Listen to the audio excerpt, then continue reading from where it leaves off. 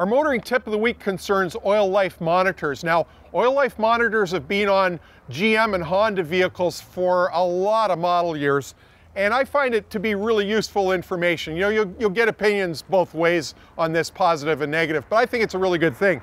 Uh, it's not the be all and end all of your maintenance program, but it's really valuable information. So our viewer is asking, he says he's got a 16 year old Caddy, uh, Cadillac. It has a computer, of course, and when I scan the information about the car, one of the things I noticed is remaining oil, uh, remaining life of the engine oil. How on earth does the computer measure the remaining life of the oil?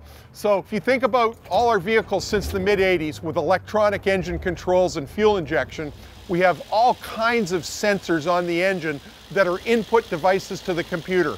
It needs to know coolant temperature, engine RPM, throttle position, crankshaft position, ambient temperature, manifold vacuum. There's tons and tons of input to that computer that runs the engine, and then it maps out and decides how much fuel to inject, when to inject it, spark timing it, and how to run the engine efficiently.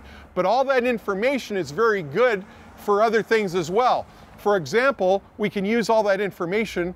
Uh, it's valuable in calculating what remaining life might be left in the oil.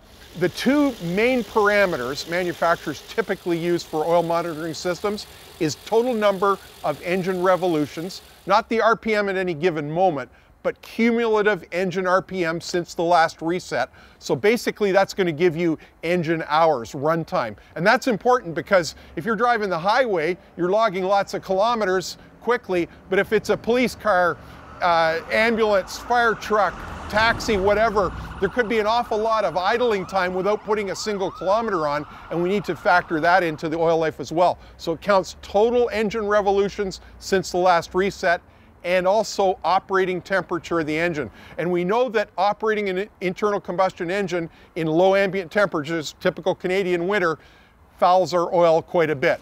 The best thing in terms of the oil is for the engine to get hot and stay up at operating temperature and log all kinds of miles like you're on a highway trip. But that's typically not our winter operation. It stops and starts, a lot of them in, in low temps. So that's what fouls the oil. So those two factors are our main things for calculating the, the remaining life of the oil. Just keep in mind though that oil life monitors do not indicate how much physical oil is in the engine. So if you got a four liter crankcase capacity and you're down two liters of oil, never mind how much it's telling you is remaining life expectancy of the oil. You need to add oil to that engine right now. So don't rely on this as your only input, but it's a very valuable one in terms of charting when you should, uh, should change your engine oil and filter. That's your motoring tip of the week.